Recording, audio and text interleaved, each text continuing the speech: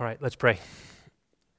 Father, I'm grateful for your um, continued goodness to us as we dig into your word and as we try to mine it for the diamonds you have for us. I pray that as we, um, we look now at what it means to be a creature created in your image um, in this world that you've created to communicate yourself, um, that we'd have help. Uh, we have limitations. We have mental limitations. We have spiritual and emotional limitations, bodily limitations. We're limited in so many ways, which means we need divine assistance so that our eyes are open to see everything you want us to see in the Bible and in your world. So I pray for your help, and I ask it in Jesus' name. Amen. Okay, so thus far we've um, we've talked about God as He is in Himself, and then we talked uh, the Trinity, Triune God of glory, and then we've talked about God as He is in relation to creation. He's the author of this story, and then in the most recent sessions we've been talking about um, that creation is communication. He's present in everything, and He's everywhere, speaking and communicating and telling us about Himself and so we want to be attentive. And now, in this in these next two sessions, I want us to look at um, what it means to be a creature. What is our role? So we've talked about what the world is saying, the heavens are declaring. Now, what are we, and how do our limitations affect um, affect our ability to see and hear and know Him in the world? So begin with a few quotations again. Um, that I think are really important, and some of the, the, the first one especially I think matters a lot at at, as we continue to think about how to avoid the false guilt that can plague us whenever we enjoy the things of earth. Um, this quote here is, is huge. There is no good, says Lewis, trying to be more spiritual than God. There's no good trying to be more spiritual than God. Or again, uh, stressing this idea of it's not just on the big, big times, the, the, the uh, big occasions that we have to be attentive to God speaking to us, but in everything, Lewis says, we, or at least I, shall not be able to adore God on the highest occasions if we have learned no habit of doing so on the lowest, the little things. At best, our faith and reason will tell us that He is adorable, but we shall have not found Him so, not have tasted and seen. And so, as we saw yesterday, you can't know that wisdom is sweet unless you've tasted honey and known that it's good and sweet and you can't know that God is uh, good if you've not tasted and seen other things that are good and that reflect Him.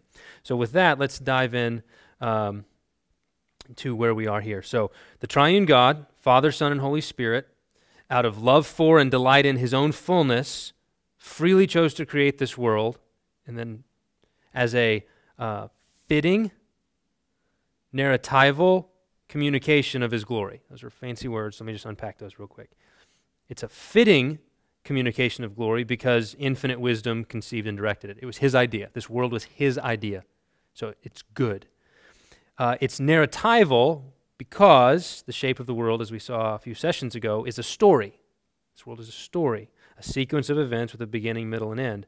And it's communication because God speaks it into existence and speaks himself through it at every point in all of its glory because the creator and author is the Lord of glory. So now as we turn to talk about what does it mean for us to be creatures capable of relating to this author in a real way, um, we want to look at the beginning uh, at Genesis chapter 1. So um, in Genesis, uh, glorious text, Genesis 1 to 3 is one of those passages that you should spend your life reflecting again and again. You'll see more every time. Um, so God creates the world from nothing. And then he begins to assemble and divide creation into its various spheres. So uh, he looks at the light, he looks at the earth and the seas, he divides the waters from the waters, um, he causes the dry land to come up, creates the vegetation, fills it with creatures, big and small. And after he's all done, after, after he does each one, he says, Behold, it was good. God saw that it was good. He approves of his work. So he's looking at what he's doing in creation and he's approving of it. He's happy with it. He recognizes his own wisdom and power and creativity and artistry and goodness and kindness in the things that he has made. And, uh, and when he's finished with this work, after all of his created um, activity, he, um, he looks at everything he's made. And in verse 31 of chapter 1, he says, God saw everything that he had made, all of it, and behold, it was very good. Adds that uh, extra note. He surveys this world. So just pause and just consider what this means. God looks at the world of matter, of time, uh, of trees and branches, of seas and waves, of signs, seasons, days, years, and he has one reaction. It's very good, exceedingly good, over the top good. Uh, exclamation point good. Okay? Spike the football, touchdown, dance good. That's how good the world is. It's finite, okay? It's not infinite like he is. It's temporal, it's not timeless like he is. It's limited, and it's very, very good. So, what this means is God is the true materialist, C.S. Lewis said. He likes matter, he invented it, which means we ought not think that there's something wrong with the stuff of the world because it was God's idea to make it. It, it means, um, it doesn't mean that the material world's all there is. But it does mean that the material world is, in some very real sense, spiritual. How could it not be, right? It was made by God, who is a spirit. And so it has to, in some way, be deeply and profoundly spiritual. So creation is good because God made it and approves it and deems it so, but we can say more because the Bible says more. So now we're going to turn from Genesis 1 to Genesis 2 to look at us, to look at the creation of man. So in Genesis 1, we get this kind of whole sweep of, of things. And now in Genesis 2, he zeroes in and says, let's, let's think about the creation of man and woman. So I want you to notice a few things here in Genesis 2, verse 5 to 9. Uh, when no bush of the field was yet in the land, and no small plant of the field had yet sprung up, for the Lord God had not caused it to rain on the land, and there was no man to work the ground, and a mist was going up from the land and was watering the whole face of the ground. Then the Lord God formed the man of dust from the ground, and breathed into his nostrils the breath of life and the man became a living creature. And the Lord God planted a garden in Eden in the east, and there he put the man whom he had formed. And I just want you to notice a few features of human existence, of, of created existence that show up here. First, this word, when. It's time. There's time involved here. We're temporal creatures, we exist in time. And then, uh, formed, formed the man from dust, from the ground. We're made of stuff, of matter. We're physical. We're bodily. Okay? We're not spirits. We're uh, merely, we're, we also have bodies made from dust. And then he put the man uh, whom he had formed in the garden, meaning we have location. Right? So we exist in time, we exist in space, we exist in bodies. And um, this means that we're not. Um, notice that the, the, um, the physical comes first. God formed the man from the dust of the ground and then breathed into him the breath of life. So some religions teach that, that uh, we are spirits sort of imprisoned in bodies. That's not the biblical picture. We're not spirits imprisoned in bodies. We are embodied souls and ensouled bodies. They go together. In fact, the separation that we experience at death is foreign to us. It's, it's something alien to our design. That's not the way it's supposed to be. We're supposed to be body and soul together. That's what it means to be human. And so here's the simple point I want to make from that passage that time, uh, space, and bodies um, means that temporality, limitation, finitude are not defects to be overcome. Our existence in time, in space, and in bodies is not a bug to, in God's mind. It's not something that He has to fix. He's not trying to work the kinks out because you exist in time and in space. It's a feature. He thinks that's the best way to do it. If he'd have, he, he could have created, you know, um, uh, you know, purely spiritual beings. He has angels, and he said, no, I, I want to do something better than that. I want to make beings with bodies who exist in time. He's not ham, which means he's not hamstrung by our bodies. He's not like, gosh, I really wish I could communicate spiritual truth to them, but their bodies get in the way. And time, oh, time is just this big problem I've got to solve. It's not way God thinks at all. He knows our frame. He remembers we are but dust, Psalm 103. He made us this way, and He thinks it's a grand idea. So, as we think about what it means to be a creature, we first have to recognize the limitations we experience. You can't do everything all the time. You have limited power, limited resources. God thinks, yeah, that's the way I made you. That's, that's good. That's very, very good. So, that's number one. Next, keep moving in the story. Genesis 2 15 to 17. So the Lord God took the man and put him in the Garden of Eden to work it and keep it. And the Lord God commanded the man, saying, You may surely eat of every tree of the garden, but of the tree of the knowledge of good and evil you shall not eat, for in the day that you eat of it, you shall surely die. Now, we often focus on the, the prohibition here, the, the negative command, don't eat from that tree. But notice what the first command is. Okay, there's so the Lord commanded them. What's the command? You may surely eat of every tree. That's the first order from God. It's not don't eat that one. The first one is eat from every one. That's the first command. The, this is the lavishness of God in providing for our physical needs. So, uh, in earlier in the chapter, we're told that God made every tree. Uh, this is chapter two, verse nine. Every tree that is pleasant to the sight and good for food. So it looks good and it tastes good. And now we're told that they're all for us. I made them. They're beautiful and they taste good. And guess what? I have a command for you eat from them, all of them, except one. So one pastor says, This is one no in a world full of yes. One no in a world full of yes. And um, this, is, this is God, He's coming to us and He's saying, Look, look at every tree that bears fruit. Look at it. It's beautiful. Aren't they beautiful? That's why I gave you eyes, Adam. That's why I gave you eyes, so you could see things like that. Wait until you taste them. It'll be like a party in your mouth. Okay? They're so good. They're, they're, they're delicious. Wait, I gave you a tongue so that you could experience. Wait till you do it. And guess what? You can eat from every one of them. All of them are yours for food, except one. There's, there's one no. One no. But this is a world full of yes, Adam. So, world full of yes. And so, eat, drink, be merry. This is the kind of God we worship. This is the kind of Father we have.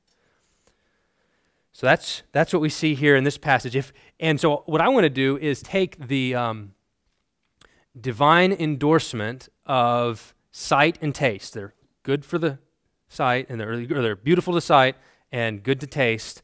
And I want to just see if I could do this, expand it and say, let's take that as a representative of all sensible pleasures, meaning pleasures that we receive through the senses. So that's sight, sound, smell, taste, touch. It's five senses. Any pleasure that we receive through the senses God says, they're all for you. In the garden, he says, they're all for you.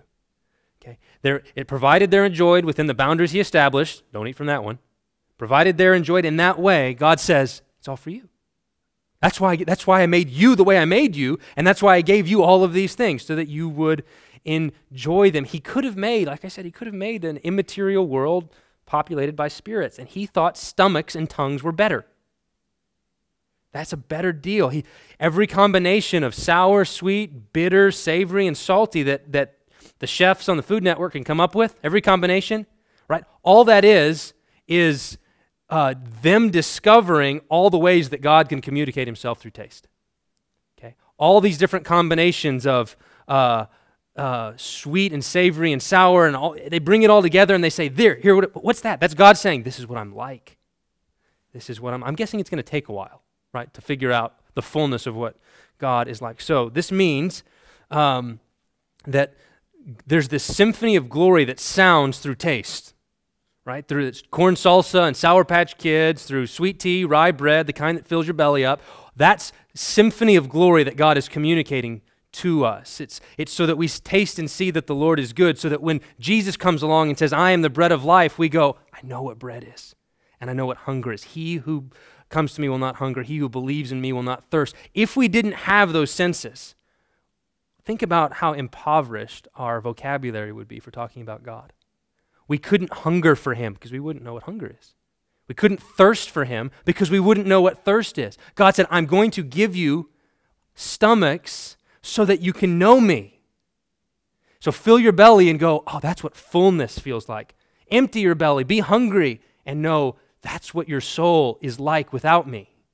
This is what God is doing for us. He thinks that this is a grand idea. Without it, we would be massively, massively unable to relate to Him. We'd have no mental, no emotional, no spiritual framework for engaging with Him.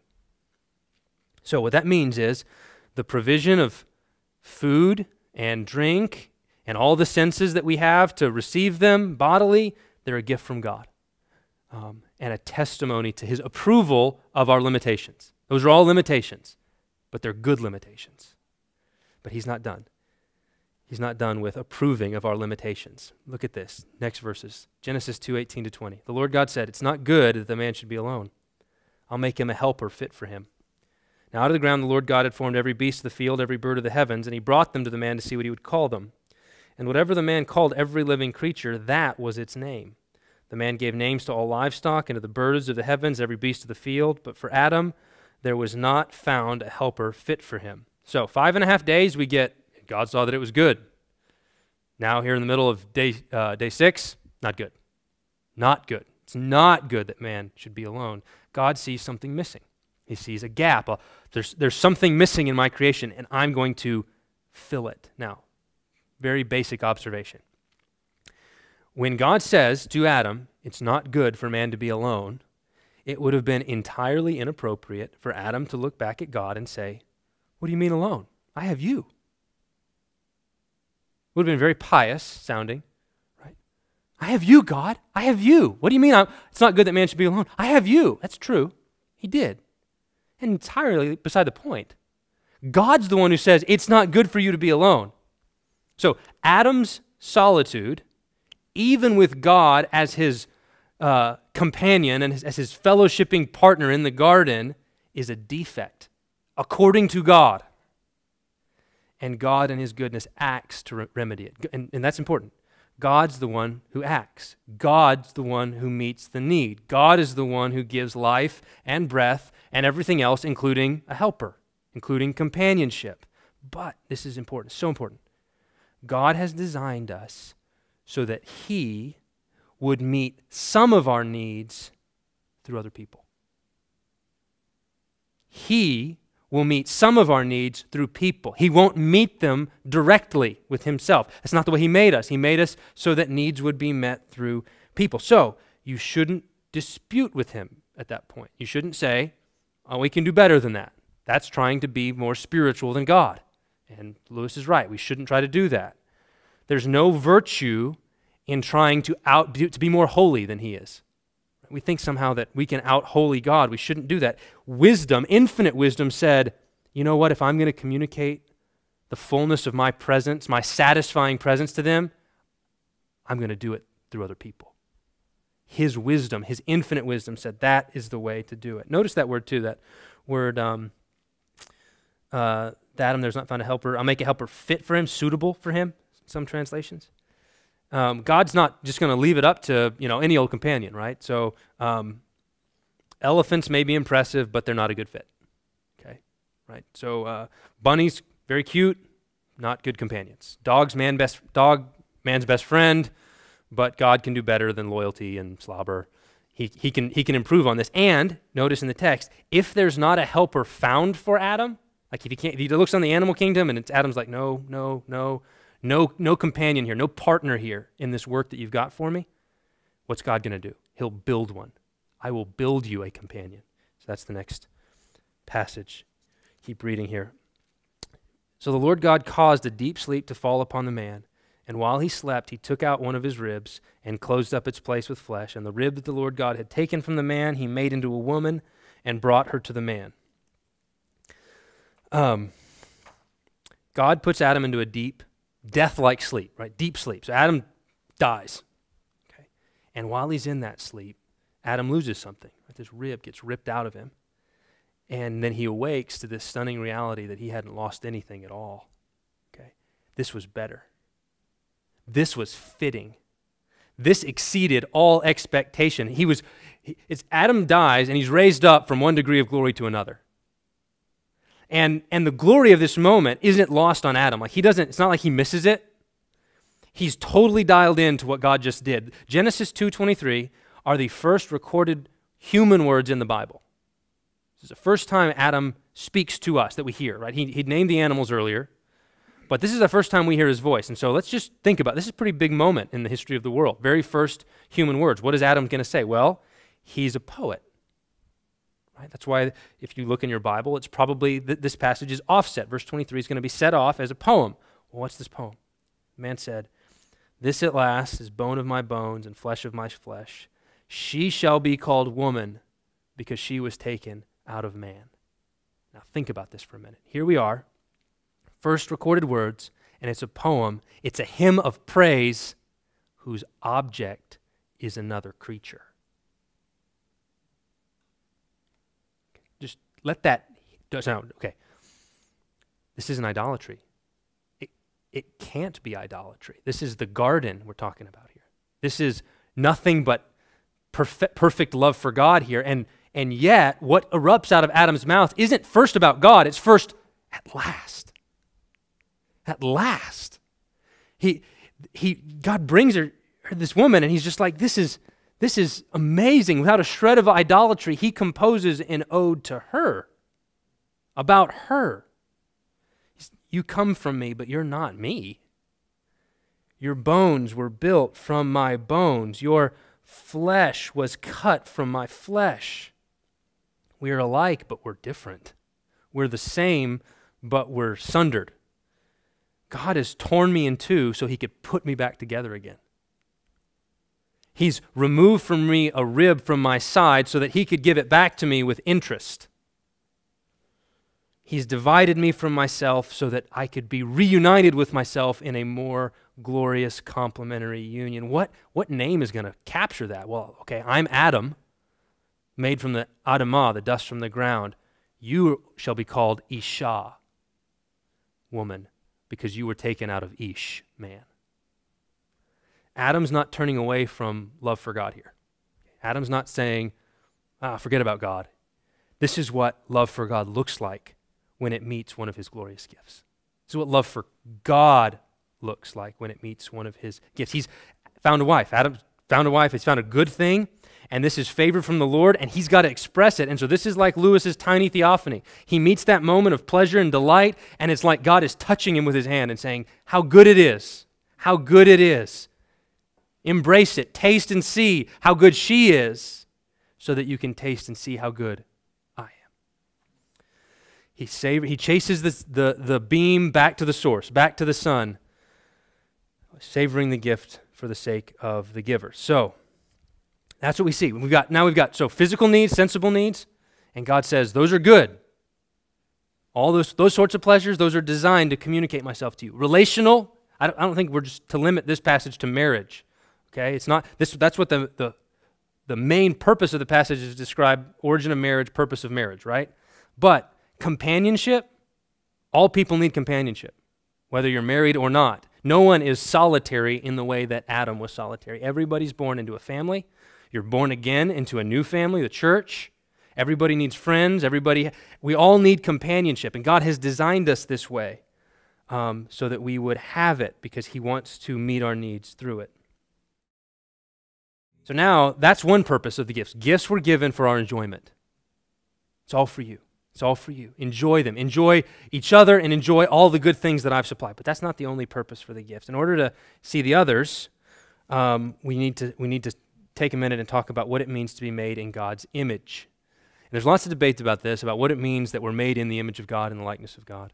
Uh, I'd like to suggest that there are three dimensions, that, that to be made in God's image is um, related to three callings that we have as human beings.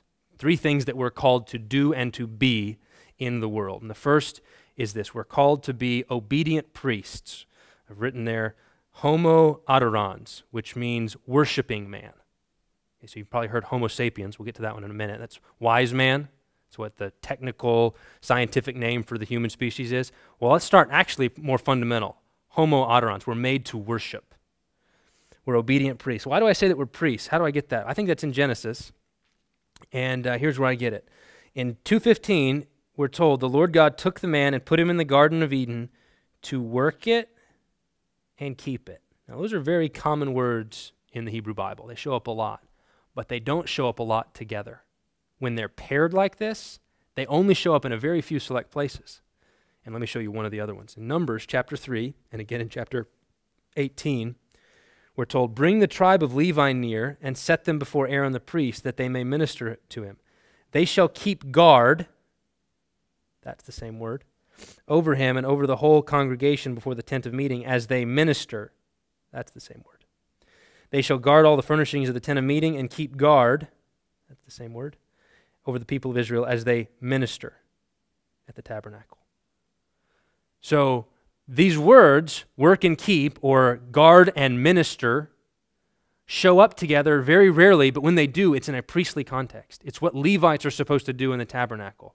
It means that they're to work and to keep, to guard and protect. That's what Levites did, right? The, anything unclean shows up, deal with it. That's your job, that's your task. And so this means that when Adam is called to work and keep the garden, he's called to guard and protect and worship God in his sanctuary. The Garden of Eden is like a sanctuary. It's where the presence of God dwells. Just as God dwelt in the tabernacle, later in the temple, so also God dwelt in the garden. And so, uh, this is our calling as human beings. What does it mean to be made in his image? Hear God's word, obey God's word, worship God rightly, guard his holy presence from unclean encroachments, like, say, a dragon shows up and starts lying. That's something you're supposed to protect and guard and keep the garden. That's the first dimension of our what it means to be made in God's image. We're obedient priests. Second, Homo sapiens, wise kings. Where do we see this? Well, Genesis 1:28. God blessed them. God said to them, "Be fruitful, multiply and fill the earth and subdue it and have dominion over the fish of the sea and over the birds of the heavens and over every living thing that moves on the earth." And this phrase again shows up throughout the Bible and it regularly refers to what kings do. So, uh, the, the Davidic king May he have dominion from sea to sea and from the river to the ends of the earth. So, exercising dominion as a wise king over God's kingdom, as God's sort of vice president, as his vice regent, um, that's part of our calling as, what it, as human beings. And here in Genesis 1, it's not just um, have dominion over the little garden, it's be fruitful, multiply, and fill, subdue the earth. So here, if you've got a garden that's like a, the sanctuary, now it's, and then expand it.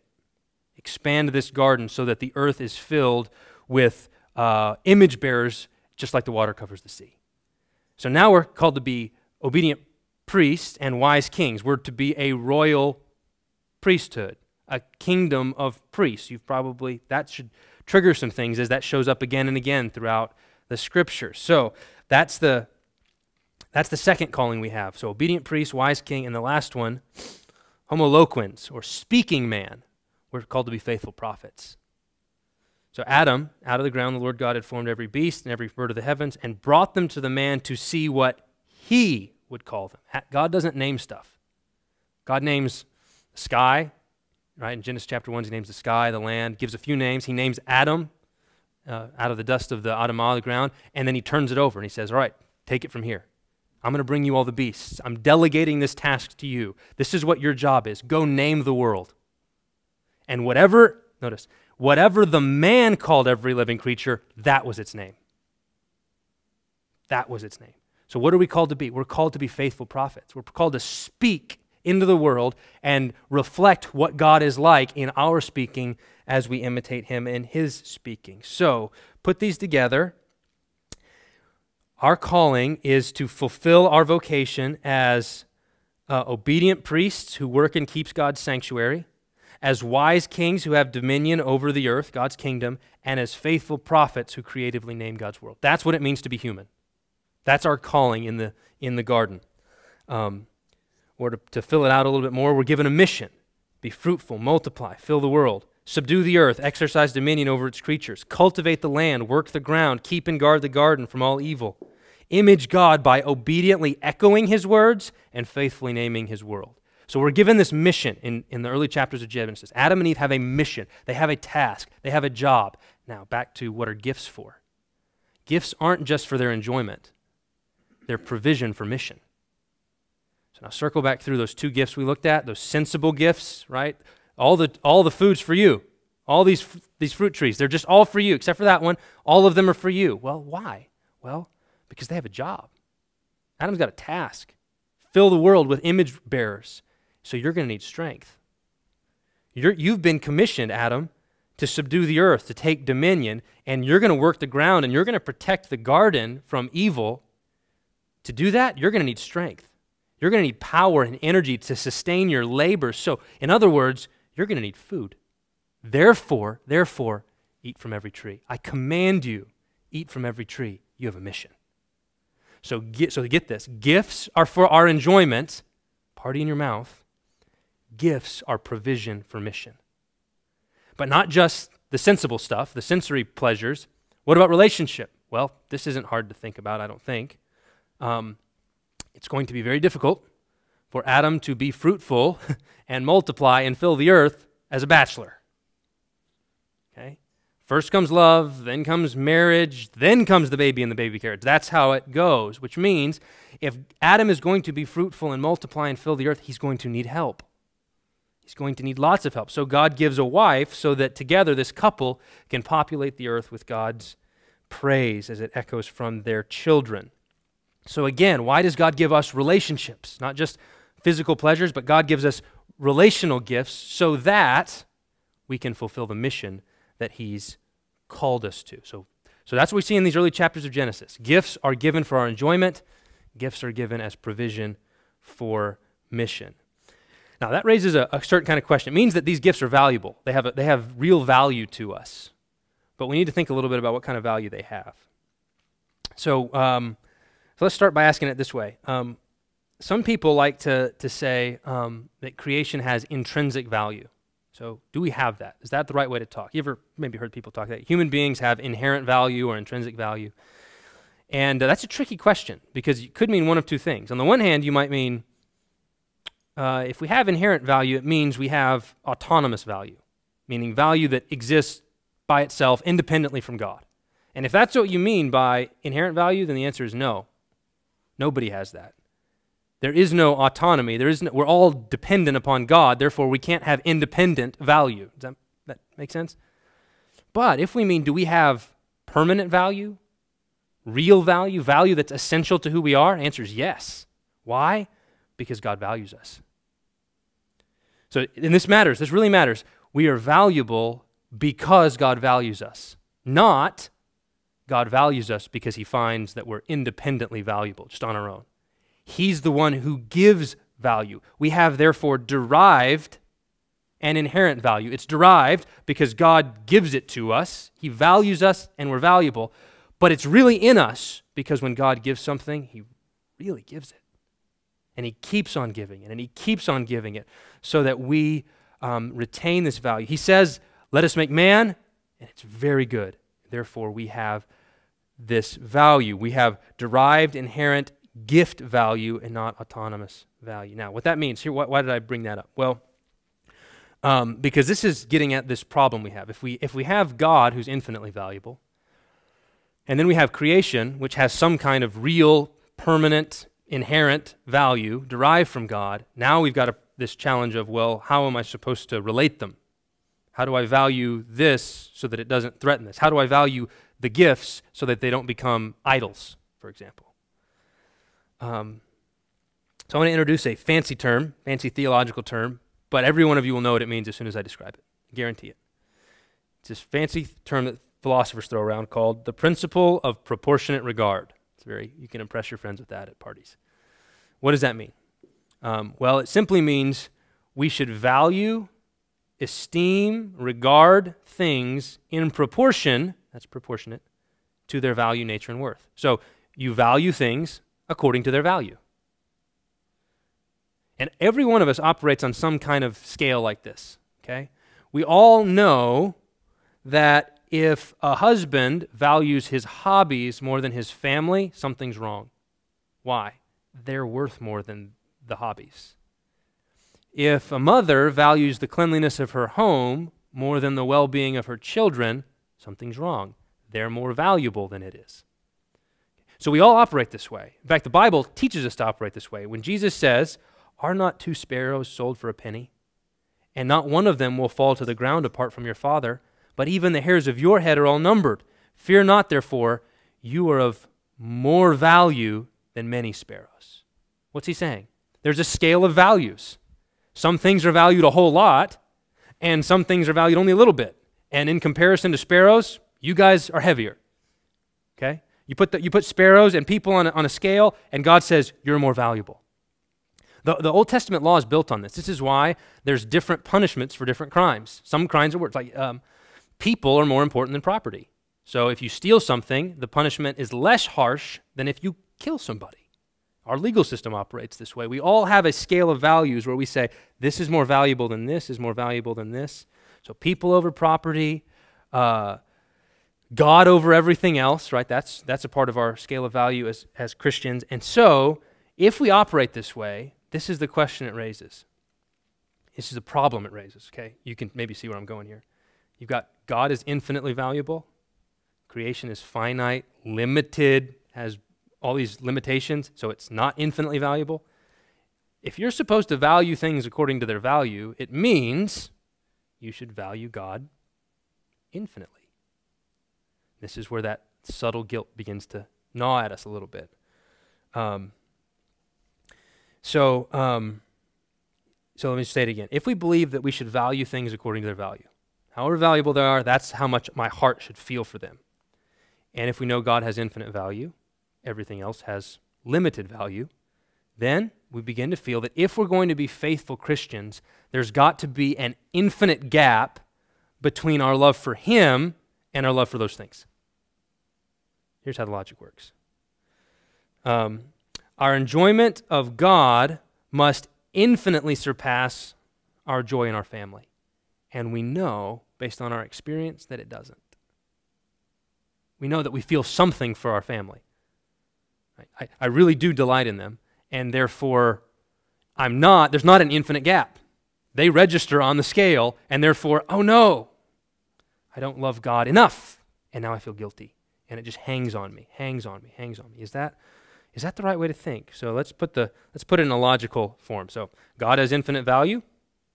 We should value things according to their value. That's the principle of proportionate regard. Therefore, conclusion, we should value God infinitely. Now, that is airtight logic. But is it biblical? Is it biblical?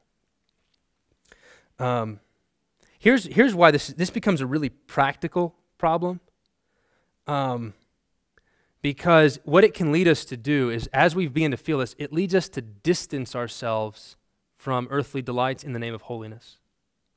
We begin to feel, I want to be a faithful Christian. If I'm going to love God rightly, I can't love my kids that way. I can't delight in them, or I can't delight in my wife or my husband. I can't delight in these things in the way that my heart erupts and wants to, because it, that's, a, that's an assault on the infinite value of God. And we probably never articulate that fully. Like, I know that it's not something you maybe thought, but it's something you've probably felt. Like, I really had this moment of joy. Oh no. So, um, now I think there. Now I think this logic is airtight, but I think that there's some problems here.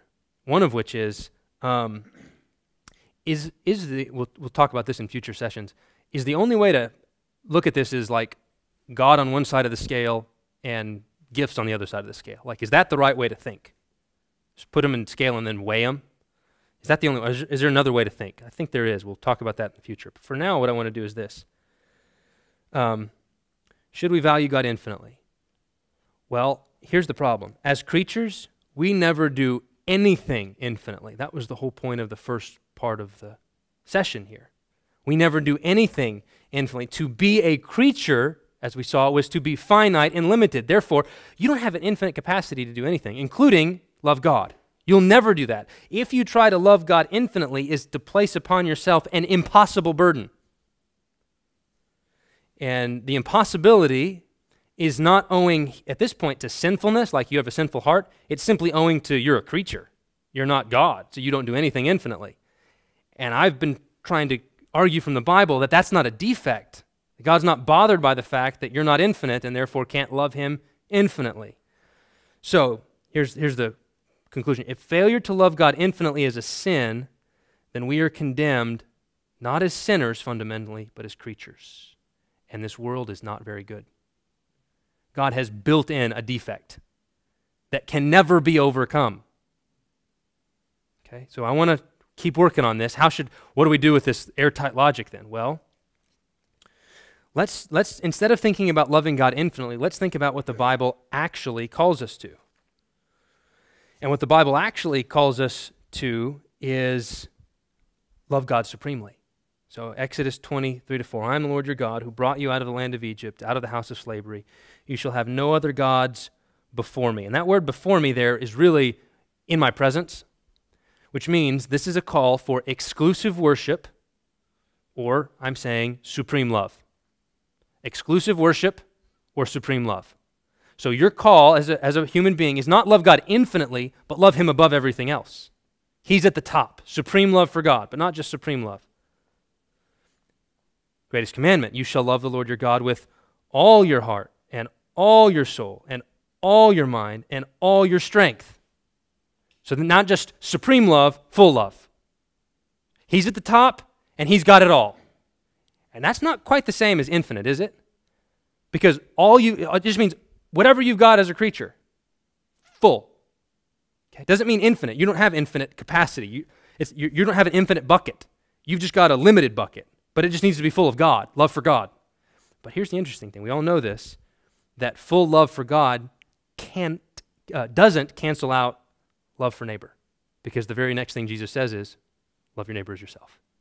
So, so somehow, supreme love for God, full love for God, and real, authentic, deep love for neighbor have to fit together. So we'll explore that more uh, as we go forward. So we've got supreme love for God, we've got full love for God, and then I'm going to add one more increasing love for God. May your love abound more and more in knowledge and all discernment. May the Lord make you increase and abound in love for one another and for all. And I would just add, including God. May your love for Him get bigger and bigger and bigger. So now you've got uh, supreme love, full love, and bigger and bigger and bigger and bigger as your heart expands to love Him fully. And this, this is a different, um, this is a different uh, uh, way of, of viewing it. Um, because if you say that that kind of love, supreme, full, and expanding, doesn't cancel out love for neighbor, then now we're free to see how, how do they relate? Well, love for neighbor is what love for God looks like when it meets neighbor. Love for neighbor is what love for God looks like when it meets neighbor. Just like delight in Eve is what love for God looks like when it meets Eve. So keep working that principle out. What about um, grateful enjoyment of fish tacos is what love for God, supreme love for God, full love for God, expanding love for God looks like when it eats fish tacos. Robust pleasure in ultimate frisbee is what supreme and full and expanding love for God looks like when it's playing ultimate frisbee.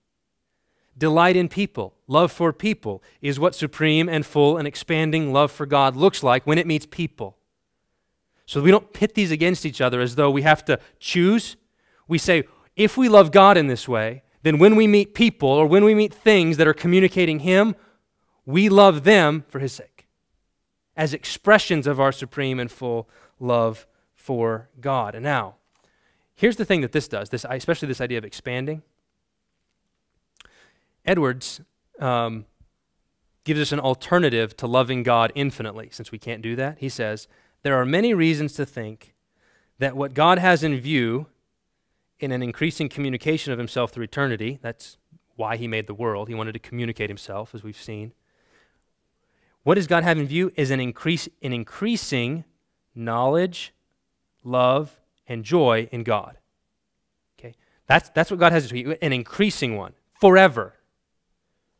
Now, um, what that means um, is that the, put it this way, you're a creature you're finite you're limited. And yet, that logic that God is infinitely value, valuable, therefore I should love him and value him infinitely, feels so compelling. Well, the only way for a finite creature to fulfill an infinite obligation is to fulfill it fully, supremely, and increasingly forever. So, so take that infinite obligation that's like up here, and if you just, instead of going up, you just extend it forever, you'll get there. Just take, it'll take eternity for you to love God to the degree that He's worthy to be loved. That's how long it will take for you as a creature, a limited, finite creature. Because for all eternity, what's He going to be doing? Expanding your heart, expanding your mind, opening you up so that you can love Him more and more and more and more. And as if you were able to take eternity and look at it all at once, like God can, He'd say, that fulfills an infinite obligation. You are loving me the way you ought to love me as the infinitely valuable creator of all things. Now, is that, is that biblical? This idea of an increasing forever love for God, is that in the Bible? Well, John 17, which we looked at yesterday, we'll, we'll finish here. I don't ask for these only, but also for those who will believe in me through their word, that they may be one, just as you, Father, are in me and I in you, that they may be in us, so that the world may believe that you have sent me. Now, I, I want you to think, think about that passage, this idea of we are going to be one with God in the way that the Father and Son are one. And here's what Edwards comments on this passage. It's to be considered that the more those divine communications, those communications of God to us, increase in the creature, so our knowledge of God, love for God, joy in God, the more, more that increases, the more the creature, it, becomes one with God. So the, the more you know God, love God, delight in God, the more that gets bigger, the more united, the more one with God you become. Okay? For so much the more is it united to God in love. The heart is drawn nearer and nearer to God. The union with Him becomes more firm and close, like we're, we're drawn in and in, further up, further in, further up, further in into who God is. And at the same time, the creature becomes more and more conformed to God we're predestined to be conformed to the image of his son. We're, we're made more and more like him, and our hearts are getting bigger and bigger so that we reflect him. The image is more and more perfect. So the good that is in the creature comes forever nearer and nearer to an identity with that which is in God. It comes closer and closer and closer. Never gets there. Never gets there, but it gets closer and closer. Um, math people have a really great way of getting this. If you're not a math person, but maybe you remember something from, you know, high school geometry, see if you remember what, what this is. I'll try to draw it here. Um, got a little, uh, oops, an axis there. Um, remember when you, this mathematical function that kind of looked like that? It's called an asymptote. And if you remember what an asymptote is, it means that it's this function where this little curved line gets closer and closer and closer to the axis. It gets closer and closer, but it never touches it. It just keeps going up and up and getting closer and closer and closer, but never gets there. That's what, that's what Edward's just talking about. Your love for God, your heart is getting bigger and bigger and getting closer and closer to what God's heart is like, but it never gets there. You always stay a creature, you always stay finite, but you're just chasing the infinite. You're, you're just, your, your mind's growing, your heart's growing. You're just, you're expanding and expanding as God reveals more and more of himself to you, and you're getting closer and closer and closer, but you never get there because it takes forever. So here's what Edward says In the view, therefore, of God, who has a comprehensive prospect, meaning he views that increasing union and conformity through eternity. He sees all of it at a glance. He can do that, unlike you and me. It's an infinitely strict and perfect nearness, conformity and oneness. For it will ever, forever come nearer and nearer to that strictness, meaning that tightness and perfection of union which there is between Father and Son, so that in the eyes of God, who perfectly sees the whole of it, it must come to a fulfillment of Christ's request in John 17, that they may be one, as you, Father, are in me, and I am in you. That prayer will get answered, but it will take eternity for it to be answered, which means it never will be answered. Glorious, glorious paradoxes in, in the Bible. So, this is what we've seen. What does it mean to be a creature? It means that we're finite, limited. We're temporal, we're bodied, embodied. We're, we're finite, temporal, limited, but very good. And we have our needs met directly by God in some ways, some cases, and also through the manifold gifts that He supplies. We're God's priests, His kings, His queens, His prophets, and He has lavished us with gifts beyond our imagining, both for our glad hearted enjoyment, gifts are given for our enjoyment, and for the fulfillment of His great and glorious mission. We are valuable because He values us and we ought to value him according to his value and other things according to their value. But we banish all forms of false guilt that come from being creatures and, inst- and for failing to love God infinitely. Instead, we seek for our love for God to be supreme and full and expanding forever. This is what it means to be human. This is what it means to be created, to be a creature in a world that communicates God at every point. Let's pray. Father, it is liberating. It's hugely liberating to me to know that I don't have to meet an infinite obligation right now. I know it would be impossible for me. And it would be impossible for me to do so in heaven when I'm made perfect because I'll still be limited. I won't have infinite an infinite heart to love you. And so it's hugely liberating to me to know that your word calls me not to love you infinitely, but to love you with everything I've got and to love everything that comes my way for, for your sake. Those impossible obligations mean that we fail again and again and again, and it leads to incurable guilt, which leads us to sin even more because we think, what's the point? I'm never going to do it. I can never, I can never love God in the way He wants me to. I never love Him enough, whatever that means. And so I'm so grateful that you liberate us from these by saying, I don't, I don't want infinite from you. I want full from you. I want supreme love from you. I want increasing and expanding love for you. And I am committed to giving you gifts, to lavishing you with salvation, to lavishing you with every good thing, so that you can grow up into the fullness of God, so that you can see me in everything and hear me in everything and smell me and taste me and, and, and sense me, experience me in everything that I've made and all of the creation that I've given you. You can know me, and you've given us yourself, Lord. And so we thank you and we pray that you would help us to receive it gladly and to then fulfill the mission that you've given us. And we pray this in Jesus' name. Amen.